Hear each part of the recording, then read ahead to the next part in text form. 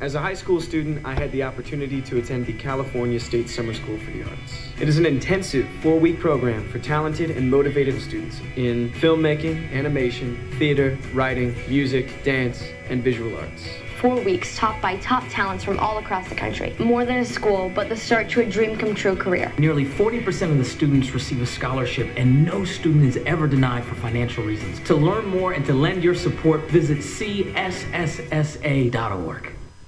Hey guys, it's Enter the Stars, and uh, what you just saw was a spot from Zac Efron, and coincidentally, Zac Efron grew up in the area where I went to college at Cal Poly San Luis Obispo. And um, the purpose of this video is every once in a while I like to share some personal information with you guys. And I actually attended the CSSSA in its very first year of existence.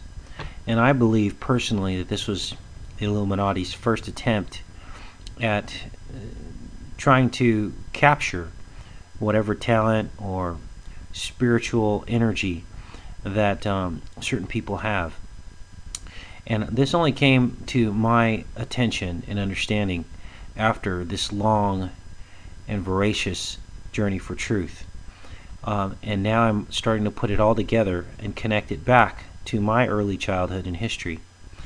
Um, so in 1987, which was the very first year that the California State Summer School for the Arts was in existence, um, I actually attended that program and it was called InnerSpark. It's a four week professional art training program for high school students that is held each summer at the California Institute of the Arts.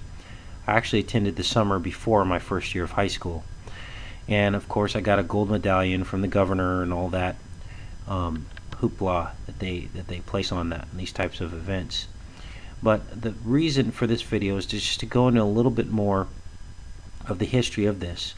Now, during the 1980s, which it states here in the Wikipedia article, California was facing increasing competition from other states in the arts and entertainment industry. So obviously, this is Hollywood, you guys. This is everything that we've been studying about and talking about. And as I told you, I did not connect the dots on this until after my journey for truth. It's it is in other words, it is not because of attending this program that I began my journey for truth.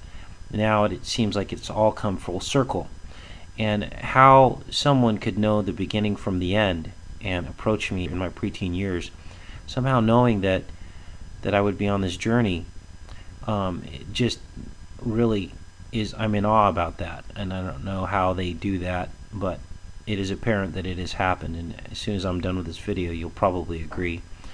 But anyway, um, it says here the film, television, and recording studio complexes traditionally built in California were were being built in Florida, Texas, among other places, with diminishing interest in the commercial arts sector.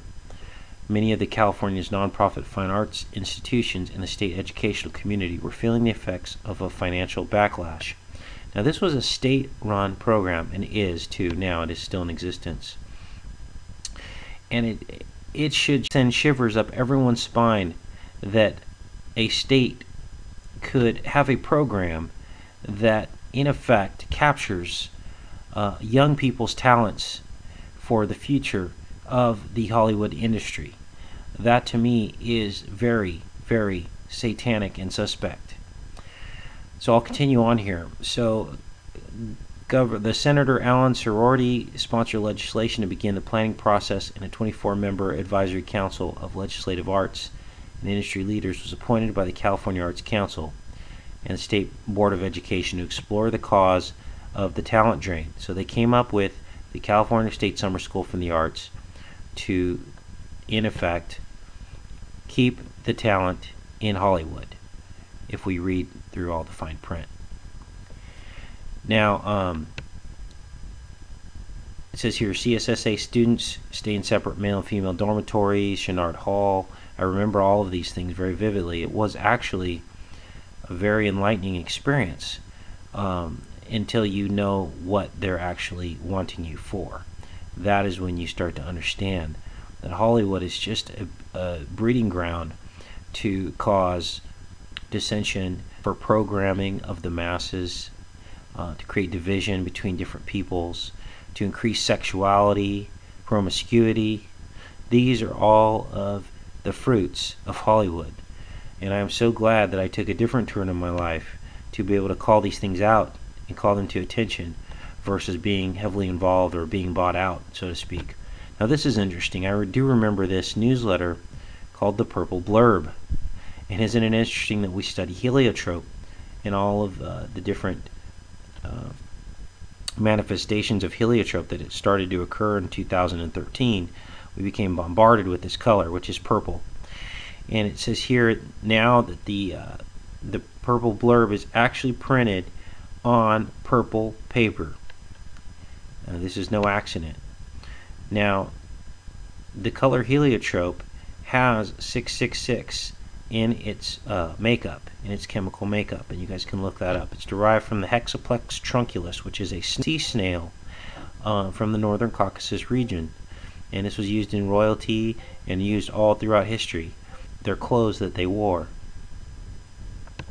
So anyway, you guys, I wanted to share this with you, and um, I just thought it would be of interest to some of you, some of my background, and maybe try to understand how this works um, with this programming and also with the timeline of our life coming full circle.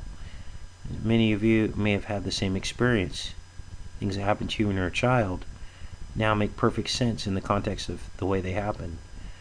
So, anyway, guys, take care and be safe.